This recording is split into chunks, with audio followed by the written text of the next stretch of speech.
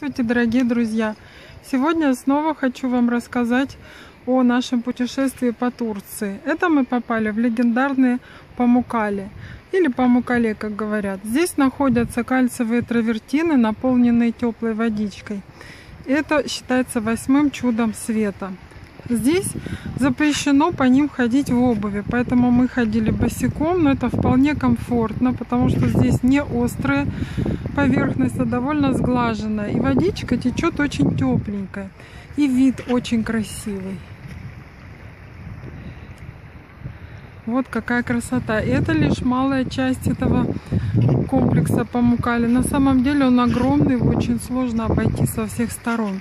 Это справа от нашего пути, когда мы возвращаемся назад а, к нашему месту дислокации нашего автобуса. А слева от нас находится древний город Хиераполис. Там нужно подниматься в гору, и мы попадаем, там есть амфитеатр, он виден вдали, развалины храма, постройки и так далее. Тоже очень интересно. Но мне лично больше нравится Памукали. Памукали это действительно чудо. До свидания. Смотрите мои другие плейлисты про Турцию. Удачи всем!